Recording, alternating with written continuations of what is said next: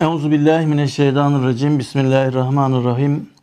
Elhamdülillahi rabbil alamin ve salatu vesselam ala seyyidina Muhammedin ve ala alihi ve sahbihi ecmaîn. Bugünkü dersimizin konusu Allah'ın rahmeti cehennem azabına nasıl müsaade eder? Evet. Allah'ın rahmetiyle cehennem azabı birbirine zıt mıdır? Yani cehennem azabı rahmetsizlik gibi zahiren görünürse o zaman Allah nasıl merhamet sahibidir gibi soru biraz daha dallanıp budaklandırılabilir. Allah sonsuz rahmet sahibi olduğu halde kullarını cehenneme atıyor. Rahmeti böyle bir muameleye nasıl müsaade eder diye soruluyor soru genellikle.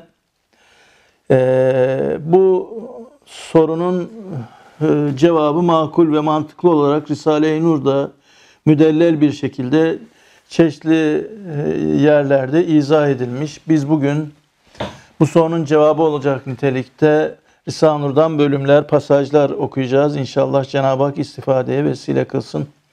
Bir kısım istikametini şaşırmış, daha ötesinde dinsizlik e, hastalığına bulaşmış bedbaht insanlar bu ve benzeri soruları daha da çirkinleştirerek Allah'a iftira atarak, hakaret ederek, e, mukaddesatın hukukuna tecavüz ederek e, insanların imanlarını ve itikatlarını sarsmak, dinlerine zarar vermek, dinde tahribat yapmak amacını güdüyorlar.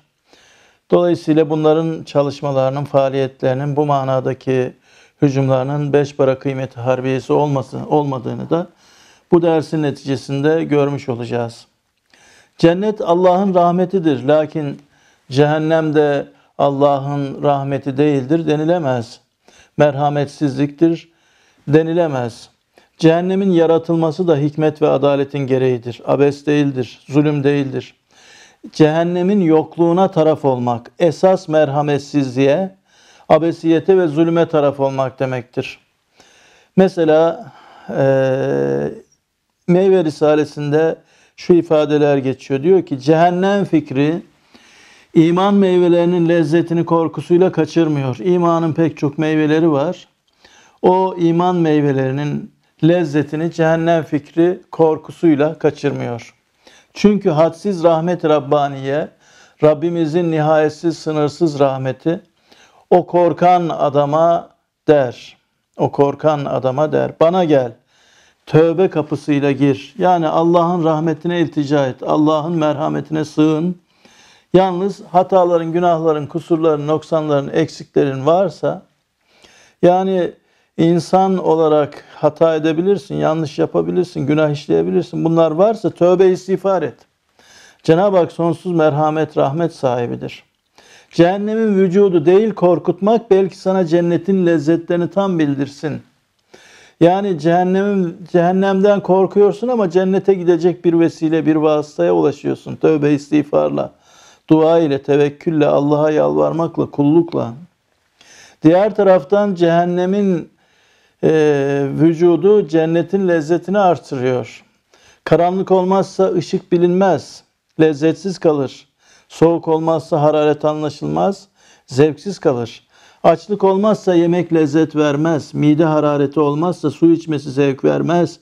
İllet olmazsa afiyet zevksizdir. Maraz olmazsa sıhhat lezzetsizdir. Her şey zıddıyla bilinir diyor üstadımız. Aynen öyle de cehennem olmasa cennet lezzetleri de tam anlaşılmaz. Cehennemin varlığı e, aslında adaletin gereğidir. Hani zaten hep söylüyoruz cennete girmek mahsı adıldır. Mahsı fazıldır. Yani Cenab-ı Hakk'ın fazlının, ikramının, ihsanının tecellisidir. Ama cehenneme girmek adalettir. Çünkü cehennem olmasa adalet tam tecelli etmeyecektir. Cehennem senin hukukuna tecavüz edilen hadsiz mahlukatın intikamlarını alsın. Sen eğer mazlumsan, zulme uğramışsan, hukukuna tecavüz edilmişse senin intikamını neyle alacak Allah? Cehennemle alacak. Senin gibi mazlumların intikamını, hadsiz mahlukatın intikamını neyle alacak? Cehennemle alacak. Mesela atom bombası atılıyor.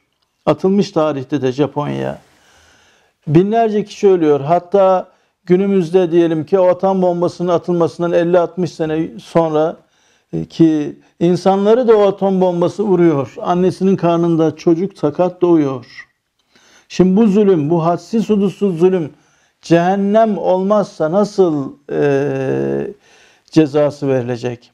Bu tecavüzatı, hakkı hukuku tecavüzata uğrayan, hakkı hukuku çiğnenen bu mahlukatın, bu insanların o atom bombasının tesiriyle e, son derece olumsuz etkilenen hayvanatın, nebatatın hukukları, haklarının e, hesabı nasıl sorulacak?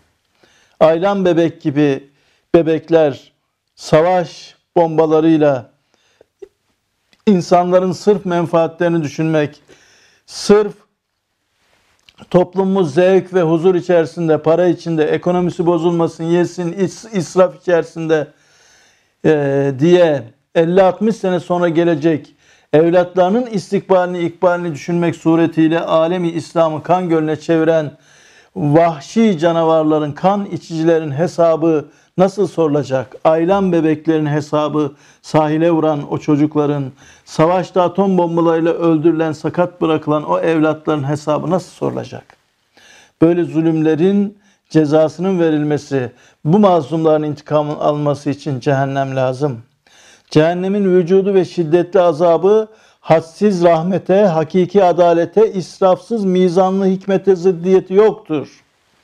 Cehennemin vücudu rahmetsizlik denilemez, adaletsizlik denilemez, israfsızlık denilemez, mizansızlık denilemez, hikmetsizlik denilemez. Hikmetin, adaletin, rahmetin, merhametin ta kendisidir. Cehennemin varlığı. Belki rahmet, adalet, hikmet onun vücudunu, cehennemin varlığını isterler. Çünkü nasıl bin masumların hukukunu çiğneyen bir zalimi cezalandırmak, yüz mazlum hayvanları parçalayan bir canavarı öldürmek, adalet içinde mazlumlara bin rahmettir. Evet. Şimdi bin tane adam öldürmüş bir adamı idam sehpasında, dar ağacında, o öldürülenlerin bedelini öldürmek güzeldir, çirkin değildir ki, adalettir, zulüm değildir ki. Bin tane masum hayvanı parçalayan aslanı, kaplanı, vahşi hayvanı öldürmek de güzeldir. Neden? O öldürme fiili içerisinde o masum hayvanların intikamının alınması, o masum hayvanların hesabının sorulması, o idam edilen adama öldürdüğü insanların bedelinin ödetilmesi gibi bir güzellik söz konusudur. O zalimi affetmek veya o canavarı serbest bırakmak bir tek yolsuz merhamete mukabil yüzer bir çarelere yüzer merhametsizliktir. Dolayısıyla cehennem olmasın, cehennemde azap olmasın. Peki zalimler ne olacak? Peki hainler ne olacak? Peki bu kadınları öldüren anarşistler, teröristler, işte katiller ne olacak? Toplumu kana bulayanlar ne olacak? Askerleri şehit eden hain eller ne olacak cehennem olmasa? Sadece dünyada gördükleri bir parça ceza ile kurtulacaklarını mı sanıyorlar? Elbette Allah'ın gadabı, Allah'ın öfkesi e, cehennem olarak onlarda tam tecelli edecek. Cehenneme girmenin bir sebebi mahlukatın hukuklarına tecavüz dedik. Yani zulüm olduğu gibi bir sebebi de şirktir. Küfürdür. Yani Allah'ı inkardır, ahireti inkardır. Bunlar da affa kabil olmayan zulmü azimdir, büyük zulümdür. İkinci şuada üstadımız diyor ki şirk öyle bir cürümdür ki her bir mahlukun hakkına ve şerefine ve haysiyetine bir tecavüzdür. Ancak onu cehennem temizler. Evet. Küfür cinayeti mutlakadır. Yani öyle bir cinayet, iki cinayet, bin cinayet, on bin cinayet değildir. Sonsuz mutlak bir cinayettir. Neden? Küfür mevcudatın kıymetini iskat ve manasızlıkla itham ettiğinden bütün kainata karşı bir tahkir ve mevcudat aynalarında cilveye esmayı inkar olduğundan bütün esmaya ilahiyeye karşı bir tezyif ve mevcudatın vahdaniyeti olan şehadetlerini reddettiğinden bütün mahlukata karşı bir tekzip olduğundan yani küfür mevcudatın kıymetini düşürmek, sukut ettirmek, manasızlıkla itham etmek olduğundan dolayı kainata hakaret etmek demektir. Mevcudat aynilerinde tecelli eden binbir sonsuz esma-i ilahiye inkar olduğundan esma-i ilahiyeye karşı bir teziftir, bir hakarettir, bir işte e, ona karşı bir hücumdur, bir yalanlamaktır. Mevcudatın Allah'ın varlığına ve birliğine yaptıkları şehadetleri görmemek, kör olmak, sağır olmak olduğundan, reddetmek olduğundan bütün mahlukata karşı bir yalancılıktır. Ve bu kadar alçak ve aşağı bir e, huydur ki veya işte sıfattır ki veya işte günahtır ki kötülüktür ki insan istidadı istidadı insani insanın istidatlarını, kabiliyetlerini, hissiyatlarını, duygularını, tabiatını, karakterini ne yapar? Öyle ifsad eder ki salah ve hayra liyakata kabulü kalmaz. Artık o adamda iman gibi, hidayet gibi, hayır gibi, nur gibi güzellikleri fıtratında kabul edemeyecek dereceye gelir. Çünkü fıtratını bozdu, tahrip etti küfürle. İşte şu hukukun muhafazası hem bir zulmü azirdir ki zulmü azim büyük bir zulümdür ki umum mahlukatın ve bütün esma ilahin hukukuna bir tecavüzdür. İşte şu hukukun muhafazası ve nefsi kafir hayra kabiliyetsizliği ve kafir olan insanın hayra kabiliyetsizliği küfrün ademi affını iktiza eder. Küfrün affedilmesini ortadan kaldırır. Küfre af yoktur. İnne şirke le zulmün azim. Muhakkak ki şirk pek büyük bir zulümdür. Ayeti de bu manayı ifade etmektedir. Nasıl ki küfür cehennemin duhulüne sebeptir. 28. sözde geçiyor. Öyle de cehennemin vücuduna ve icadına dahi sebeptir. Yani küfür inkar olursa cehennem el cevap yaratılmak zorundadır. Cehennem olmak zorundadır. Küfür fiili cehennemin varlığını vacip kılar, zorunlu kılar. Yani hem küfür olacak, hem inkar olacak, hem şirk olacak, hem zındıklık, dinsizlik olacak, hem kainatta görünen esma-i ilahiyeyi, binbir esma-i ilahiye, sonsuz esma-i ilahiye tezif edilecek, hakaret edilecek, hem mevcudatta görünen sonsuz, nihayetsiz, hadsız, hudutsuz Allah'ın varlık ve birlik delillerine, ahiretin varlık ve birlik delillerine, erkan imaniyenin varlığına şehadetleri reddedilecek ve bütün mahlukatın hukukuna tecavüz edilecek ve in min şeyin illa yusebbihu bihamdihi sırrınca her şey Allah'ı tesbih ederken, her şey Allah'a abd ve ibadet ederken, her şey vazifeli memurken onları alçak bir makama e, tedenni ettirmek, sukut ettirmek suretiyle kıymetini e, hiçliğe e, düşürmek olacak ama cehennem olmayacak. İşte bu fiilin karşılığı cehennemdir. Bu pisliği ancak cehennem temizler. Yani cehennemin varlığı Allah'ın izzetinin, azametinin, celalinin, adaletinin, hikmetinin, cemalinin, rahmetinin gereğidir. Evet, kafirler Allah'ın izzetini küfürle lekadar ediyorlar. Allah'ın azametini hiçe sayıyorlar. Allah'ın celaline, celaline karşı e, istihza ile dalga geçmekle, alaya almakla mukabelede bulunuyorlar. Allah'ın adaletini inkar ediyorlar, hikmetini hiçe sayıyorlar. Cemalini, rahmetini görmüyorlar, kör oluyorlar. Yani Allah onlara ceza vermezse onların ithamlarını haşa kabul etmiş olur. Böyle bir aşağı durumdan Allah nihayetsiz derecede münezzeh, müberradır. Ve onların bu alçaklığına mukabil, onların bu e, büyük zulümlerine mukabil tam manasıyla adaletin, hikmetin, celalin, gayretin, izzetin, azametin, işte rahmetin, cemalin, hikmeti bu isimlerinin, vasıflarının, sıfatlarının muktezası gereğince cehennemi yaratacak, onlara azap edecektir. Ve o azap son derece hikmetli, adaletli, merhametlidir. Müsaadenizle cehennemden çıkış yok diye bir şiir yazmıştım. Onu okumak istiyorum. Küfür zakkum ağacı, dehşetli meyveleri, her asırda görünür deccal ve askerleri. Onları kafir yapan iblisin emirleri, küfür melun şeytanın lanetlenmiş yazısı, cehennemden çıkış yok, ebedidir cezası. Kimi azılı kafir ilahlık dava eder, heykelini diktirir, halka secde edin der, esfel safilinde elbette bedel öder, küfür firavunların, nemrutların imzası, cehennemden çıkış yok, ebedidir cezası. Yaratılış sırrını evrim ile açıklar.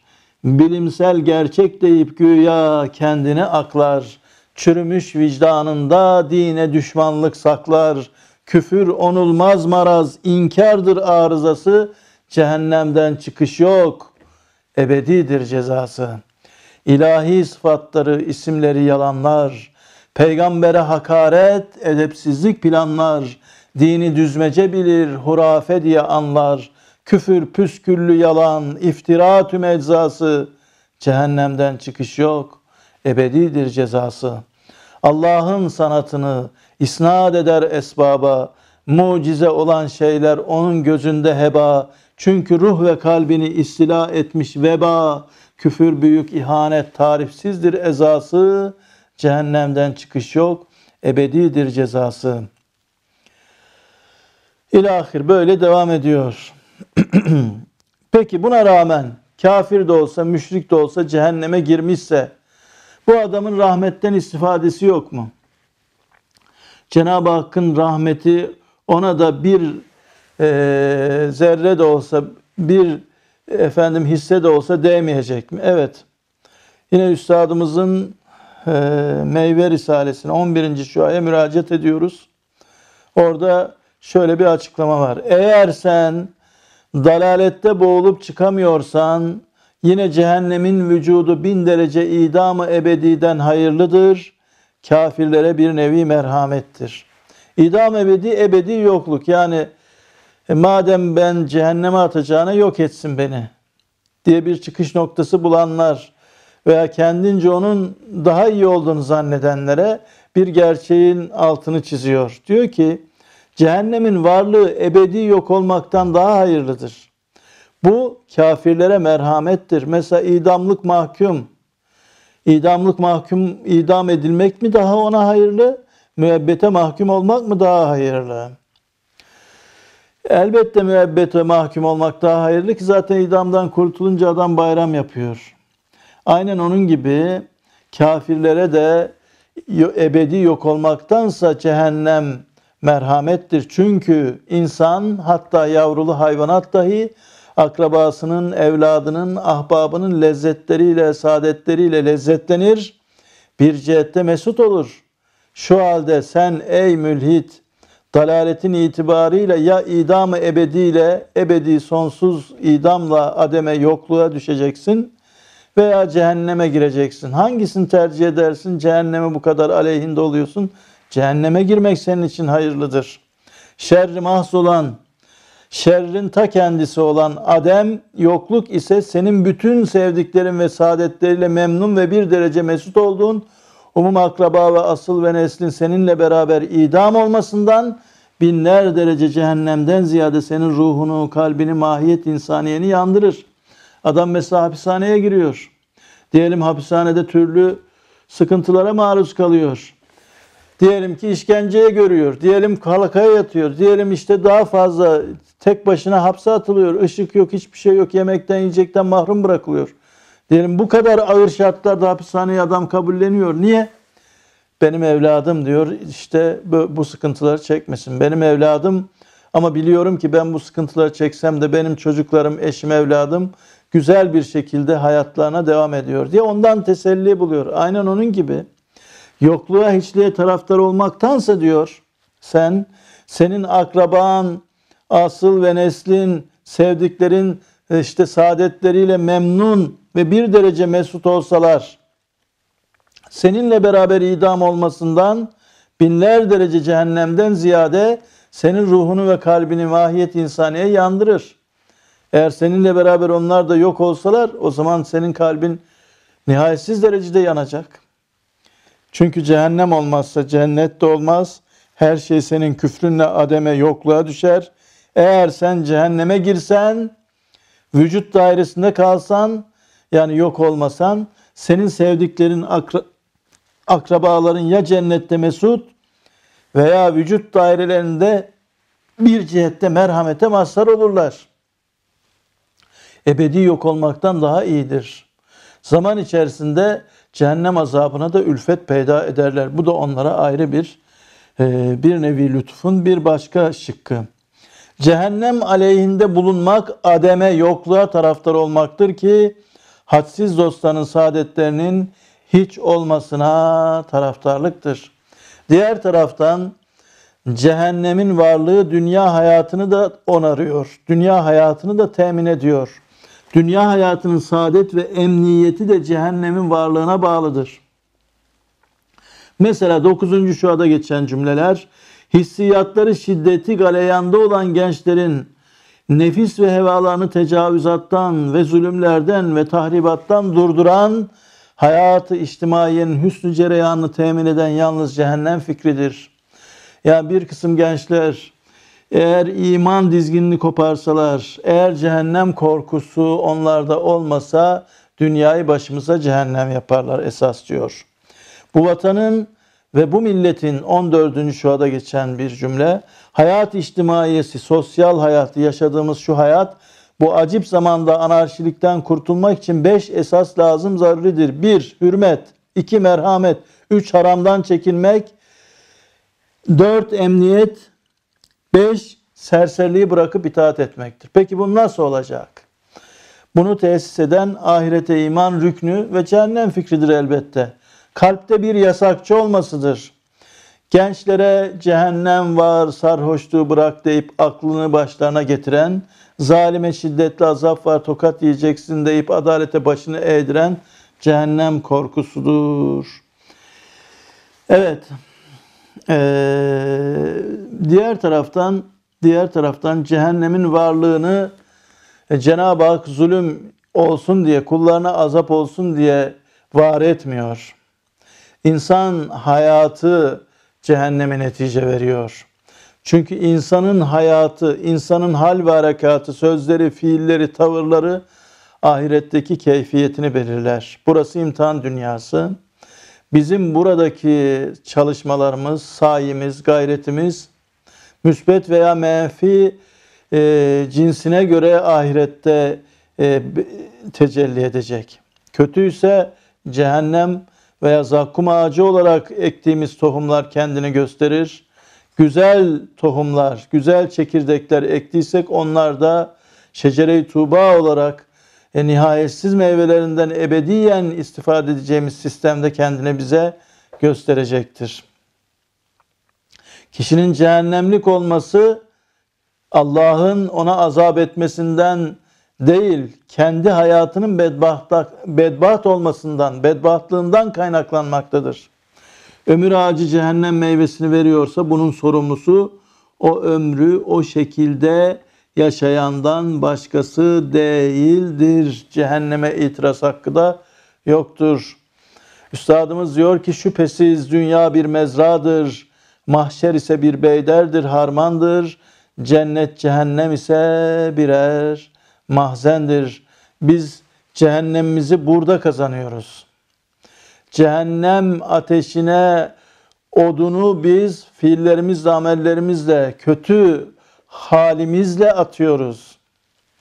Mümin cennete layık, kafir cehenneme muvafık bir mahiyet kesbeder diyor. Onların her biri öyle kıymet almalarının sebebi mümin imanıyla Halık'ının emanetini onun namına izni dairesinde istimal etmesidir. Cenab-ı Hak bize bu vücuda emanet vermiş. Malımızı, mülkümüzü, servetimizi, devletimizi, sahip olduğumuz imkanları hep emanet bize vermiş.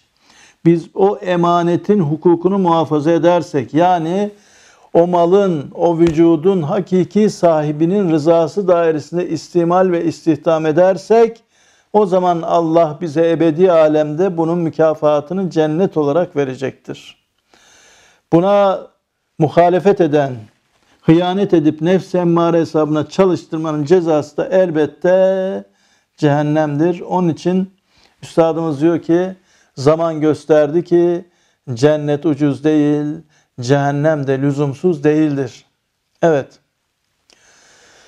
Yani cennetin kazanılması kolay değil elbette. Ama güzel, selametli, mutlu, saadetli bir yol ile elde edilir. İnsan iman ile insan olur. Hatta sultan olur. İnsan iman ile şereflenir, itibarlanır. Kullukla Allah katında makbul mertebe dereceler kazanır. Kullukla kalbi mutmain olur, ruhu huzur bulur. Kullukla istikametli, şerefli bir şekilde yaşar. Ama imanına, kulluğuna zarar getirirse o zaman insaniyetten de çıkar, hayvaniyetten de aşağı derecelere sukut eder. Onun için böyle yapmanın cezası cehennem olduğunda da niye bana azap ediyor? Bu nasıl merhamet demeye de hakkı, şikayeti, isyanı geçerli değildir, mazur da değildir. Cehennem lüzumsuz değil. Çok işler var ki bütün kuvvetiyle yaşasın cehennem der. Geçenlerde bir gazete Ayasofya'nın açılışını geçen geçtiğimiz yılın büyük felaketler arasında saymış. Şimdi onların yaptığı bu e, zulüm celali Cenab-ı Hakk'ın celalini, Cenab-ı Hakk'ın gadabını elbette tahrik eder yani. Gayretine dokunur yani. Ayasofya'nın açılması, İslamiyet'in mührünün orada ifa edilmesi veya işte Ayasofya'ya takılan kilitlerin kırılması, oranın ibadete açılması, ezan seslerinin yükselmesi oradan nasıl bir felaket olabilir? İşte bazı fiiller var ki yaşasın zalimler için cehennem diye bağırıyor. Onun için niye cehennem denilmez? Cehennem haktır, adalettir, güzeldir merhamettir, hikmettir. Son olarak bir sualle bugünkü dersimizi bitireceğiz. 28. lemada geçiyor. Aynen okuyorum. Sual. Kısa bir zamandaki küfre mukabil hadsiz bir zaman cehennemde hapis nasıl adalet olur? Allah'ın adaleti nasıl müsaade eder ki kısa bir zamanda, kısa bir ömürde hadi diyelim 30-40 sene 50 sene adam kafirlik yaptı ama 30 trilyon 50 trilyon sonsuz yıllar cehennemde kalacak. Ya buna mukabil bu olur mu? El cevap sene 365 gün hesabıyla bir dakika katıl 7 milyon 884 bin dakika hapis iktisası kanunu adalet iken insanlar böyle cinayet işleyenlere böyle ceza veriyor. 365 gün hesabıyla sene diyor bir dakika katıl 7 milyon 884 bin dakika hapis. Yani diyelim ki 20 sene ceza veriliyor. Bir dakikada tetiği çektin adamı öldürdün. Cezası 20 sene. Bir dakikaya karşı 20 sene. Öyleyse diyor 20 sene ömrünü küfürle geçiren, küfürle ölen bir adam kanun adaletle yani insanların uyguladığı kanunla 57 trilyon 201 milyar 200 milyon sene beşerin kanun adaletiyle hapse müstehak olur diyor. Çünkü bir dakika değil, her bir dakikası bin katıldır küfrün. Sonsuzdur aslında. Bin katıl da değildir. Milyon katrilyon katıl da değildir. Sonsuz katıldır. Yani sonsuz cinayettir her bir dakikası. Çünkü sonsuz tecavüzatı, sonsuz zulmü içinde barındıran çok büyük bir günahtır. Ve onun cezası da elbette halidine fiha ebeden adalet ilahi ile veç muvaffakatı bundan anlaşılıyor. Yani küfre, küfür cürmünü işleyen ebedi cehennem azabına müstahaktır. Affetsin Allah, affedemez. Yani affedemez derken Allah affedemez manasında değil. Küfür affedilmeye layık değildir. Küfürü affetmek Cenab-ı Hakk'ın kendi isimlerine, kendi sıfatlarına zıt düşmesi demektir. Kendi izzetine, celaline, gayretine hakaret edilmesine müsaade etmesi demektir. Kendi vaadini inkar etmesi demektir. Vaadini yalanlaması demektir. Ben iman edenlere cennet, inkar edenlere de cehennem azabını göstereceğim diye vaid eden zat bu sözünden geri dönemez, dönmez, geri dönmez. Allah böyle bir şey yapmaktan münezzehtir, müberradır. Onu takdis ediyoruz böyle bir şey yapmaktan. Öyleyse cehennemin varlığı kat'idir, zaruridir. Cehennemi inkar edenler, Allah'ın rahmetini tenkit edenler o cehennemi yaşayacaklar, görecekler. Cenab-ı Hak imanımızı kamil eylesin, imanımızı muhafaza eylesin, cehennem azabından cümlemizi kurtarsın inşallah. Subhaneke la ilme lena illa ma allamtena inneke entel alimul hakim ve ahir davahum enelhamdülillahi rabbil alemin. El Fatiha ma'as salavat.